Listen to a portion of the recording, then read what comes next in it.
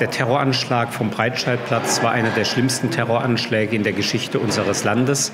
Im Interesse lückenloser Aufklärung, auch im Interesse der richtigen Weichenstellung für die Zukunft, damit unsere behördlichen Strukturen optimiert werden äh, können, haben wir bereits Ende der letzten Legislaturperiode die Einrichtung eines Untersuchungsausschusses angeboten.